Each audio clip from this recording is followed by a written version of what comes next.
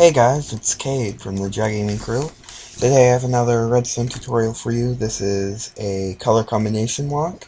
Basically how it works is it's a lock set to a certain color combination, so this is a single color combination lock.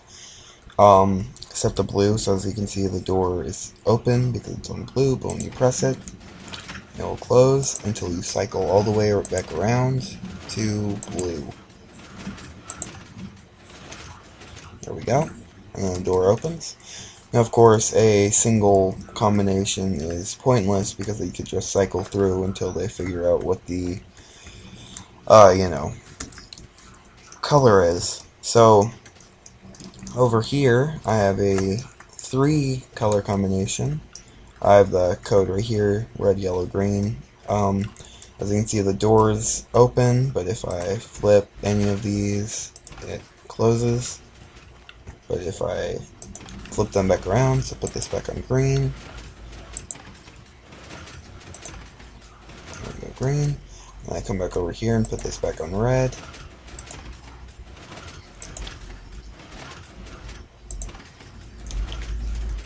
The door reopens. Uh, here's the redstone behind it. It's fairly complex, not really. Like, uh, if you if you're pretty intermediate with redstone, you'll know what all this stuff is. If you're like my buddy Garrett, you'll have no idea what I'm talking about. But um, it's pretty lengthy, but not so much uh, horizontally. So you can stack them really close because other uh, combination locks I've seen are really really big. So you'd have like one color right here and then one color like right here, like five blocks apart. And so I tried to make one that that was a lot closer together. These are only two blocks apart and still work just as well. So um, I'm gonna go go ahead and show you how to build one of these. First thing you'll need is your little base thing. So just put a three by three wall of whatever block you want, punch out the middle, and go behind, put a piston, surround this with blocks, chicken,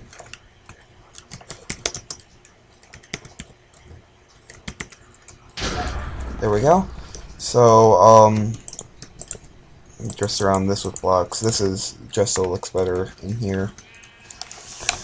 Uh, come around here, count three out from this, break it, put a normal piston. Now you're going to want to hook up a bud switch, so put a sticky piston right here, block in front of that, redstone torch, repeater set to 2, block, torch, block above that, and blocks coming out, stopping diagonally from the uh, sticky piston. Then you're going to want to put one block right here and put a repeater right here. Oh my gosh. Put a repeater right here set to 2. Then you're going to want to put a torch right here and a piston right here.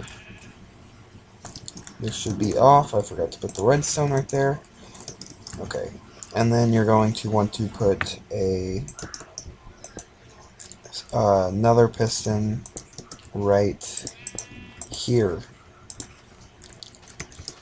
Now let's wire that one up by doing this. Come to this torch, put a block under it, not in front of it, under it.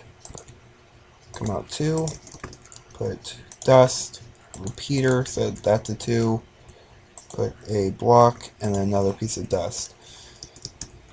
So if you press the button, it should go like this. Oh wait, no, no, if you put a block right here, it should go this one, that one, that one. Yeah, like that. Now, we're going to want to set up the, like, memory feed. I'm not sure what you'd really call it. So you're going to come right here, put a repeater, and basically we're going to rebuild this mechanism. Oh my gosh, I'm sorry. I forgot to wire up this uh, this piston. basically all, all you're going to want to do is uh, put a piece of redstone right here. That is uh, like right here after the bud switch. Go down one and then put a repeater set to two. So that will um, hit that piston. So now if you put a block right there, the block should get pushed up. That piston will fire and then that piston will fire. There we go. Let's destroy that block. Okay, now I'm going to go ahead and build this mechanism again.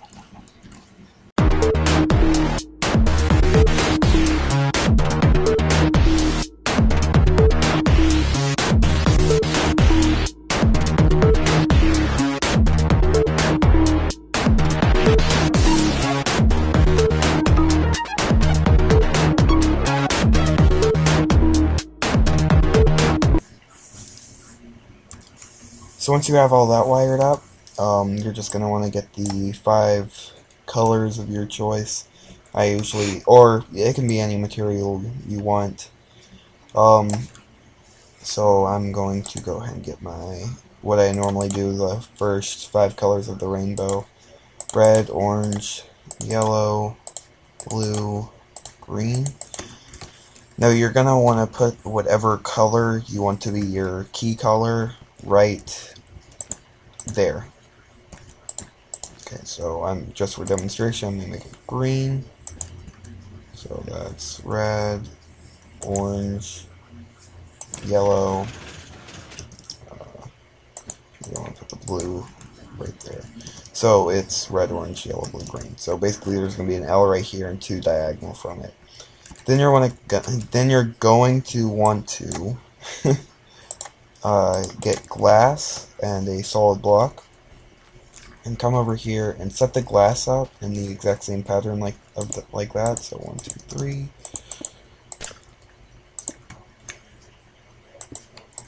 There we go.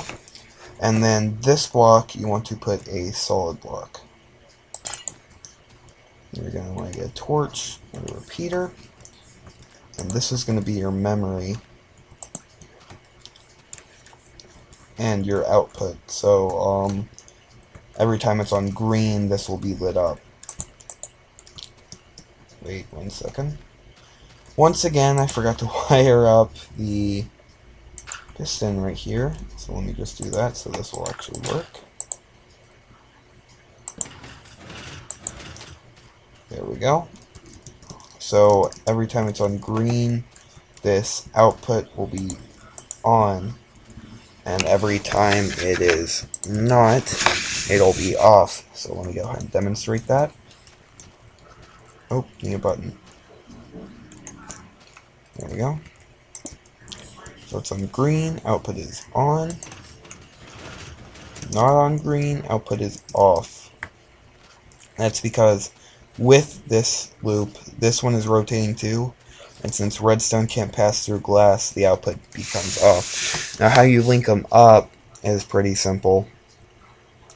And it has to be this corner block, because if you put it right here, it sets up a bud switch with this piston, and it messes the whole thing up. But basically, um, to hook them up, you just want to uh, put two repeaters, and then your next uh, color combination mechanism will be here, and then so it'll go all the way through these blocks and go to your output. Alright guys, this has been an episode of Cade's uh, Redstone Tutorials. Hope to see you next time. Bye.